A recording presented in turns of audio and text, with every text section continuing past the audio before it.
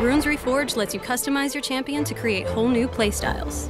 Here's one new build from the Resolve path that we've discovered. We call it Good Guy Bard. Other bards don't give their ADCs the attention they deserve, but not you. You're a true bro who gives your teammates plenty of help and health in lane.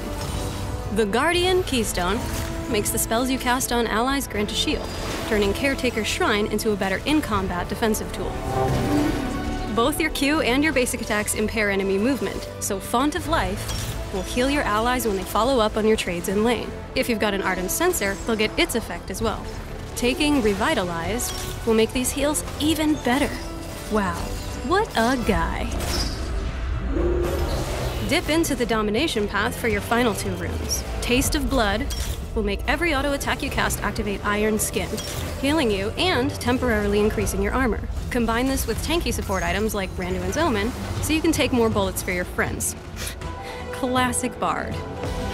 Finally, finish off this page with Zombie Ward. When your hunt for chimes takes you deep into enemy territory, you'll be able to flip some vision in your team's favor.